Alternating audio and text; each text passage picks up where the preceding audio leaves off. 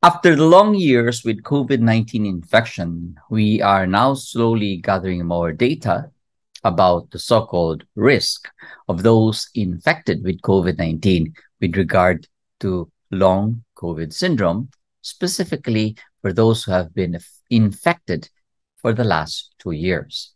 The question is if any of you were infected with COVID 19, are you at risk of COVID 19 long COVID syndrome? That's what this.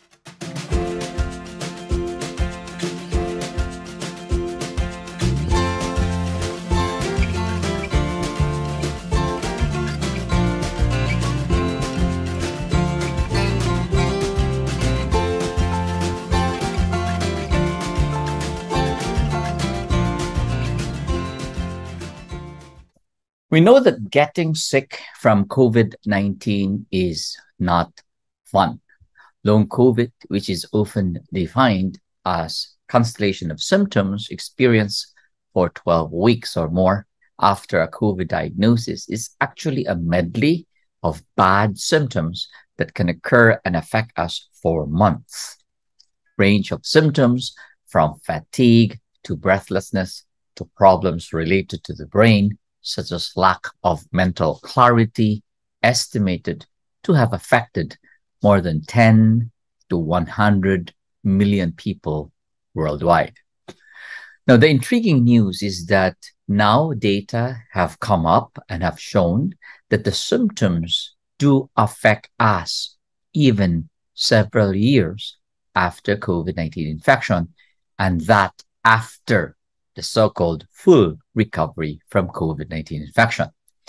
Now, in this recent publication in Lancet, the study found that those adults exposed to COVID-19 or infected with COVID-19 were at risk of developing the following seizure disorders, brain fog, dementia, and other mental health conditions up to two years after recovering from COVID 19.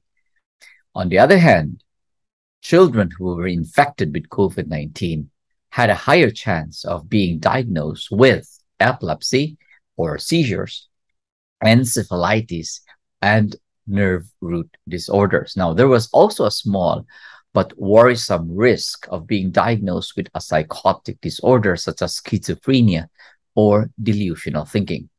Now, the study, however, could not exactly tell if the people had experienced ongoing symptoms for the full, full two years since the COVID 19 diagnosis was made. The reason for that is the study only looked at the number of new diagnoses being made, not the persistence of the duration of symptoms. Now, for adults, however, the data was clear that the risk of developing brain fog dementia, psychotic disorders, epilepsy, and seizures remain elevated throughout the two years.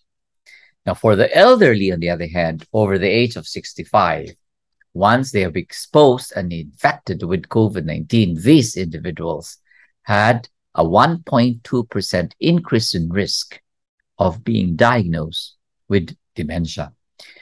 Now, on the other hand, the risk of brain fog in children was noted to be transient, meaning there was no overall increased risk at any greater risk of being diagnosed with anxiety or depression after COVID 19, even in the first six months.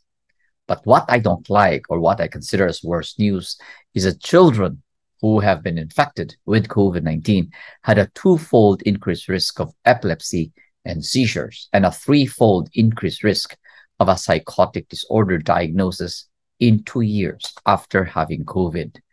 Now, what then is the long term impact of this finding overall? Now, the evidence is particularly worrisome because even as the new COVID 19 variants are considered to be milder, we believe they still appear to have the same long term consequences.